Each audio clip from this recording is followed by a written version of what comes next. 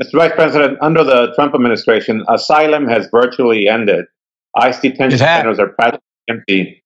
Uh, uh, your new plan calls for reversing President Trump's harsh plan. But won't that restart a brand new border crisis? I mean, what, what would you do with all those people in camps now waiting in Mexico? It, it will if we don't do it well.